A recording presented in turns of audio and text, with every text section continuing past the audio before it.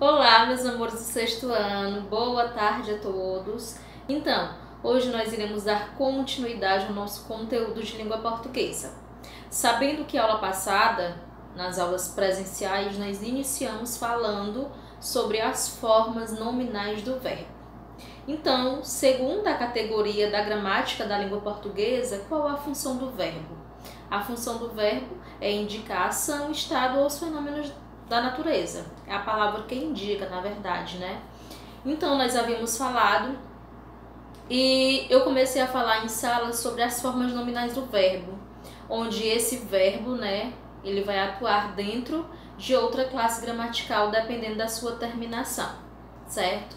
Então, ele pode vir dentro das frases com o valor de um substantivo, com o valor de um adjetivo ou com o valor de um adjetivo ou um advérbio, que é os três, né, as três formas nominais do verbo que nós temos, que é o infinitivo, o particípio e o gerúndio. Como que vocês irão identificar cada um? Então, o infinitivo são os verbos terminados com a consoante R. O particípio são, no caso, as palavras terminadas com DO ou de é, ado ou ido, perdão. E nós temos o gerúndio, que é a terminação NDO.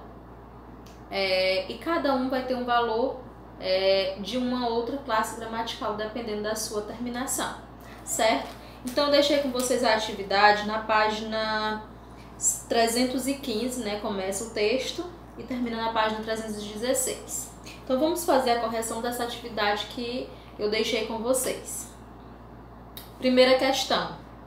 Releia o trecho a seguir, retirado do segundo parágrafo do texto. Seguinte: o manguezal é um dos mais ricos ambientes do planeta. Possui uma grande concentração de vida, sustentada por nutrientes trazidos dos rios e das folhas que caem das árvores. Letra A. Qual verbo originou a palavra destacada? Verbo de trazer, né? Trazidos o verbo trazer. Muito bem, quem colocou o verbo trazer está correta, corrija aí. Letra B. Esta palavra representa uma forma nominal desse verbo. Então, pela questão da terminação, é, no caso nós temos R, ido ou ado, e nós temos NDO. Qual a terminação nominal desse verbo? Ele, sim, ele tem, representa o particípio do verbo. E o participio, como vocês sabem, é, tem valor de um adjetivo, né? Dentro das frases. Letra C. Indique nesse trecho o verbo que está flexionado na terceira pessoa do plural. Então, conseguir encontrar caem. Por que, que está flexionado na terceira pessoa? Eles caem, né? No caso que os números trazem dos rios e das folhas que caem. Então, quem cai? Eles. É, segunda, retirando do texto algumas palavras que se referem ao universo da biodiversidade e alguns verbos utilizados no texto, identifique as palavras e escreva-as nas cruzadinhas de acordo com as pistas a seguir. Então, para preencher essas lacunas, vocês têm as pistas, né? É, tanto na horizontal quanto na vertical e vocês, de acordo com as pistas, irão preencher da forma correta as lacunas, a cruzadinha. Então vamos lá. Vamos começar pela horizontal. Primeira, ecossistema rico em biodiversidade de solo úmido, lodoso e com grande quantidade de nutrientes. Então vamos lá, número 1. Um. Número 1 um, que vocês colocaram? Fauna quando se refere né, à fauna brasileira, que fala sobre a biodiversidade, né, o ecossistema. Então, quem colocou fauna, beleza. 2. Crustáceos de carapaça larga com pernas anteriores terminadas em fortes pinças. Então, vamos lá, 2. 2 também assim, viu? Na horizontal. É, os mariscos. Quem colocou mariscos está correta. 3. Seres vivos caracterizados por apresentar celulose e clorofila nas células. 3. Lama. 4. Movimento das águas do mar que faz com que seu nível aumente e diminua regularmente ao longo do dia. Cadê o 4 aqui? É, os habitats. 5. Animais ovíparos com corpo revestido de penas. Cadê o 5, 5, 5, 5? Raízes. 6. Verbo sinônimo de necessitar, flexionado na terceira pessoa do singular. Rever. 7. O mesmo que ter, verbo flexionado na terceira pessoa do singular. Cadê o 7? É, reparar. E 8, por último, né, a, a horizontal, o verbo estar flexionado na terceira pessoa do singular. Cadê o 8? Fácil. Agora vamos para as verticais. Primeira, conjunto de animais próprios de uma localidade, região, ambiente ou período geológico. Manguezal. 2. Animais cujo corpo mole é coberto por uma crocha, por uma concha protetora. Cadê o 2 na vertical?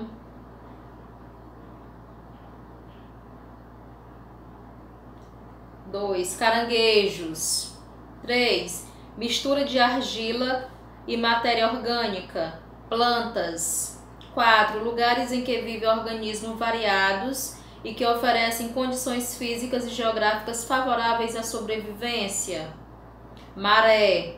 5. Parte dos vegetais que geralmente fica no solo, podendo também se localizar na água ou no mar, ou no ar, perdão, absorvendo recursos como oxigênio para sobrevivência. Aves. 6. Ver novamente. Precisa. 7. Verbo utilizado como sinônimo de observar. Possui. 8. Adjetivo antônimo de complicado. É complicado para as plantas viverem ali. Então é o antônimo, né? É, 8. Cadê o 8?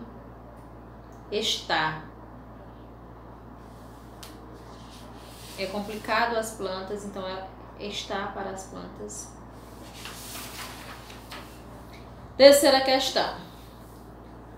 Ao indicar ações, estado ou fatos, fenômenos da natureza, os verbos também expressam a duração do processo verbal, que está, que se dá independentemente da época em que este ocorre.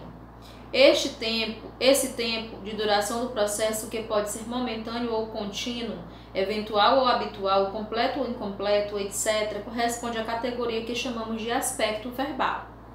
Com base nessa definição, analise as frases a seguir. O mangue é um ambiente muito rico. O mangue está ameaçado. Nas frases, qual é a diferença de aspecto entre os verbos?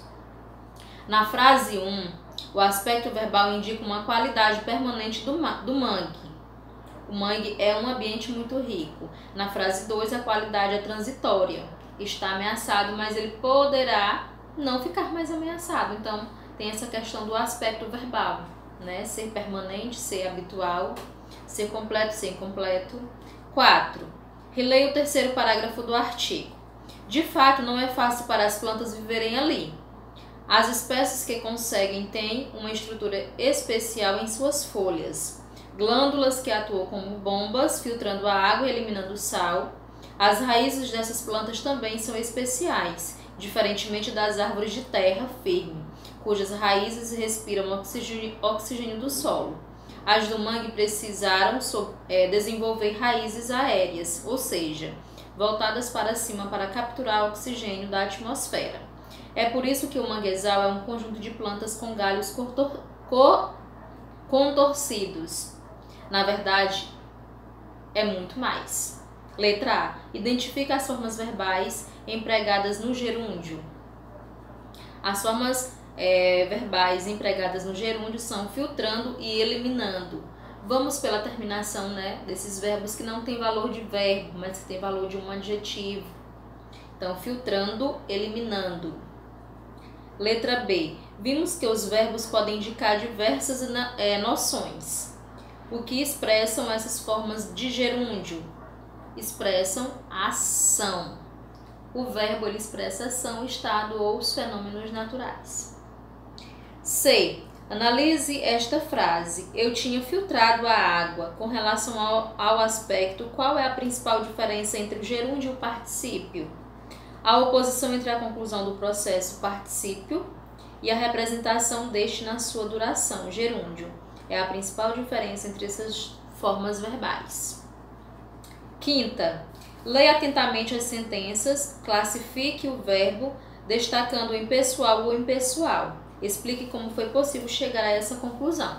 Lembrem que o verbo pessoal ele indica uma pessoa do discurso, seja primeira, segunda, terceira pessoa do singular, seja primeira, segunda ou terceira pessoa do plural. Exato? E os verbos impessoais, professora? Os impessoais eles não indicam pessoa nenhuma do discurso. Então, os verbos impessoais são relacionados aos é, fenômenos atmosféricos, naturais ou atmosféricos. Então, nós temos duas. Ontem iríamos à praia, mas amanheceu frio. Ontem iríamos à praia, mas amanheci preguiçoso. Aí você iria colocar aí, né, como você chegou à conclusão do verbo pessoal ou impessoal. O verbo é classificado como impessoal, pois não há sujeito. O verbo indica um fenômeno da natureza. Na sentença 1, perdão. Na sentença 2, o verbo é pessoal, pois apresenta-se flexionado na primeira pessoa do singular, sendo usado de modo figurado no sentido de acordar. Tem é, tanto a categoria de sujeito quanto o mecanismo de concordância verbal serão estudados adiante nas páginas seguintes. Então, como vimos, ontem iríamos à praia, mas amanheceu frio. Esse frio, esse amanheceu frio, é o amanheceu de tempo. Então, isso não relaciona a pessoa nenhuma do discurso. Então, o verbo é impessoal na frase 1. Na frase 2, ontem iríamos à praia, mas amanheci preguiçoso. Esse amanhecer, amanheci preguiçoso é relacionado ao acordar, né? A forma como o sujeito acordou é, com preguiça.